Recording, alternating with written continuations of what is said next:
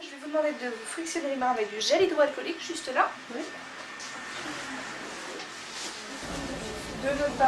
Les Disinfettarsi le mani, non dare da mangiare ai gatti, non svegliarli se dormono, scattare foto senza flash.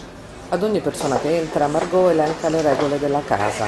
Il bar dei gatti, il primo a Parigi, il terzo in Europa, è diventato in appena tre settimane un luogo molto ricercato e infatti è tutto esaurito fino al mese prossimo. Il telefono squilla continuamente, ma è impossibile trovare un posto. Insomma, sembra che a Parigi nessuno possa più fare a meno di bere un succo di frutta o mangiare un'insalata senza giocare o accarezzare un gatto. Ce ne sono 12 che scorrazzano per il locale, arrivano dall'Associazione Protezione degli Animali. Ognuno di loro ha una piccola nota biografica che viene data ai clienti assieme al menù.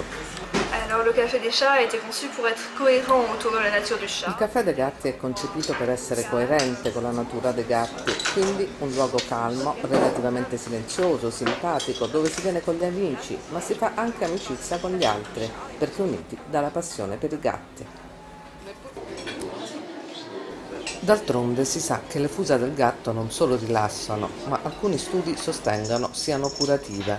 Probabilmente un locale del genere in città come Roma, dove gatti per strada certo non mancano, non avrebbe un grande successo. Ma per i boulevard di Parigi di amici non c'è nemmeno l'ombra.